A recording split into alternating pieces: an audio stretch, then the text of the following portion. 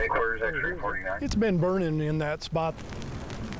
It's been a long time since we've seen smoke this close. All it takes is some good winds to get going here. At this point, then, we have a, an anchor point at the southwestern edge of the fire. This is the Douglas Mountain Ranch. What we want you to do is just to stand by. It's getting up on uh, the top here a little more. From our vantage point, uh, it looks like as you guys are coming down that burnout, you're actually coming up underneath. I'm surprised at how quickly it's moved west. The fire is not yet under Black. control. I'm just here to make sure no wanderers walk into the fire. It's pretty open down in that in that canyon down there. Look, you can see the smoke.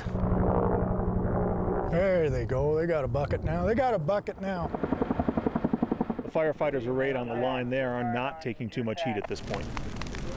Because of the topography and uh, the fuel load in here, a lot of hours. You're still like 40 feet in the from the black, so uh, we need the other guy out from on top. We got a lot of dry grass. It's been a very, very dry year. Predicting the weather is tough.